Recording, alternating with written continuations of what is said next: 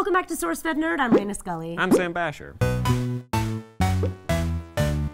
By now, most of you know that the popular gaming blog site Joystiq, as we know it, is no more. Editor-in-chief Ludwig Kietzmann writes, there is no end in response to their recent shutdown. This heartbroken post serves as Joystiq's last update, and it's very clear that each and every one of their writing staff truly loved what they did. An excerpt from the blog post reads, every day is a long day for the passionate. This is how it was for us. We had a drive to write about games and a duty to catch every little bit of information, make it fun to read, and keep it grounded. We loved the big games and coveted the small, clever ones too. We learned how to play more games, think about them in more ways, and how to find the creators who didn't have a voice as big as ours. I'm personally more invested in reading about video games from those who are not only enthusiastic about gaming, but also relatable. This premise was exactly how Joystiq went about their site and why they've been successful for a decade. Back in the early 2000s, before Joystiq was launched, gaming websites were largely dominated by big corporate names, which meant there was little information out there about how the games were objectively. The story isn't much different nowadays, with publishers paying a great deal of money to have journalists review their games favorably, but thanks to the plethora of information and opinions now easily accessible via the internet from sites like Joystiq, we can form our own thoughts and opinions, albeit still derivative. Joystiq isn't the first or the only site to have their plug pulled. Massively and WoW Insider were closed simultaneously, and substantial layoffs have plagued GameSpot, Game Trailer, Gamefront, and The Escapist. However, this round's cancellations were particularly important because it brings attention to questions like what is the fate of video game journalism? What even is video game journalism now? Oh. What's the value of the expertise in gaming? What purpose does an inside look at gaming provide other than intent to purchase? According to Joystiq's site, Joystiq's got a new home! As of February 4th, Joystiq and Engadget are teaming up on a new project that will live on Engadget called Joystiq X Engadget. The announcement seems upbeat and positive, which is a little bit misleading. Exact figures are unclear, but it appears that most of the staff will not be coming over to Joystiq X Engadget,